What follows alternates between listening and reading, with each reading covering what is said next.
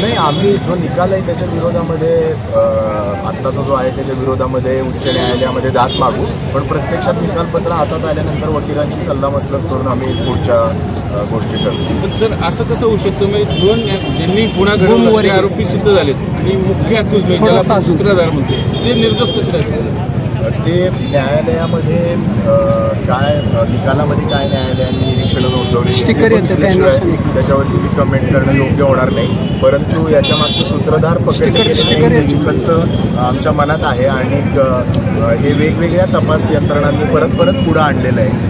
की हा एक व्यापक स्वरूपाचा कट होता. पानसरे कलबुर्गी गौरी लंकेश आणि नाला सोपारा आणि डॉक्टर नरेंद्र दाभोळकरांचा खून आणि हे आता आम्ही म्हणत नाहीये तर हे तपास यंत्रणा म्हणतात निकालपत्र बघितलेलं नाहीये. निकालपत्र हातात आल्यानंतर त्याच्याविषयी. आय विटनेस महत्त्वाचे ठरले की निकाल हा अपेक्षित होता की काही वेगळ्या नाव दिसत नाही.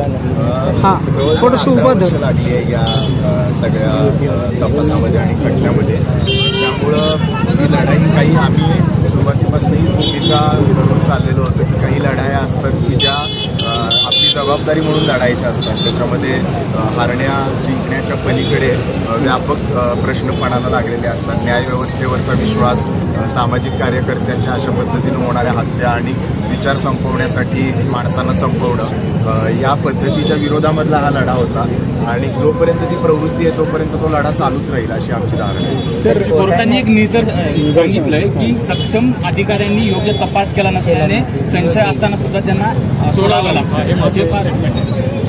मला बघायला लागेल मी अजून ते वाचलेलं नाही वकिलांची सल्ला मसलत करून आम्ही त्याविषयी पुढची अ, भूमिका मांडू हे जे निरीक्षण कोर्टाने नोंदवलंय अं, याकडे कसं पाहतो स्वतः मला हां, मला ते जजमेंट वाचल्याशिवाय मी त्याच्यावरती कमेंट करणं योग्य नाही.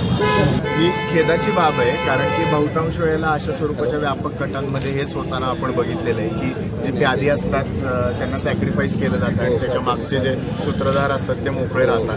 त्यामुळे याविषयी आम्ही सुरुवातीपासून आग्रही होतो पण प्रत्यक्षामध्ये आज त्यांना शिक्षा झालेली नाही आहे त्या तपास जो काही निकाल आलेला आहे त्याची माहिती घेऊन आम्ही त्याविषयी पुढची जी काही लढाईची भूमिका आहे ती ठरवू?